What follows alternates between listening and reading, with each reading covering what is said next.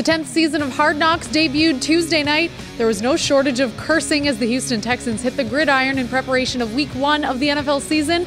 There was so much bad language, in fact, that Texans coach Bill O'Brien asked his mother not to watch the show, and he wasn't kidding. JJ Watt, not surprisingly, emerged as one of the stars of the first episode, flipping a one ton tire 65 times and asserting himself as the vocal leader of Houston's D. Former New England Patriot Vince Wilfork also stole the spotlight, displaying his humor by cracking jokes and also showing off his basketball skills. There's a good chance we'll see a former Patriot take the wheel as starting quarterback in Houston. Hard Knocks is chronicling the competition between Ryan Mallett and Brian Hoyer for the starting role.